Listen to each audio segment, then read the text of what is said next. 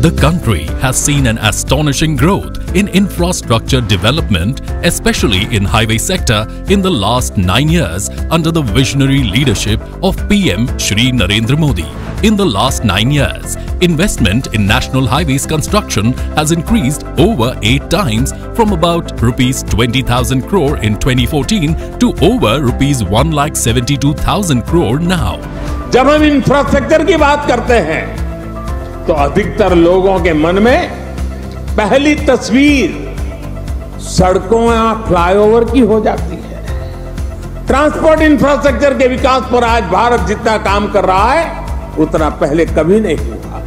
Karnataka has been a strong partner of this development journey with over rupees 57,000 crore investment in road projects of over 2,500 kilometer length, out of which more than 70% of projects are completed and rest are in the final stages of completion.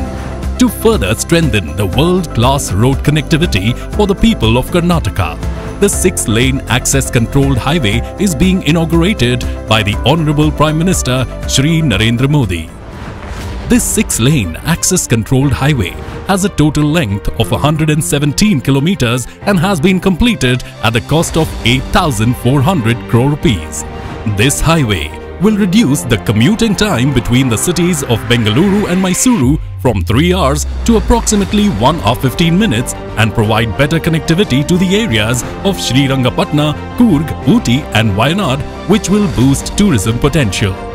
This highway comprises of total 10 lanes with 6 lanes of main carriageway and 2 lane service road on either side. The construction of this 6-lane access-controlled highway also involves 4 rail-over bridges, 9 major bridges, 40 minor bridges and 89 underpasses and overpasses. With better infrastructure will come better opportunities and this will boost the business opportunities and movement of agriculture produce with ease. Also, on this occasion, the foundation stone is being laid for the work of four laning of the Mysuru Kushalnagar section of the NH275 which will be constructed in four packages with a cost of rupees 4100 crores and which will be of 93 kilometer length. This project enhances better connectivity to tourist places like Coorg and Mangaluru with reduction in travel time from Bengaluru to Kushalnagar from 5 hours to 2.5 hours. Further, this also serves as an alternate route to Mangaluru port and there will be reduction in congestion of the cities like Yelavala, Bilikere and Hunsur.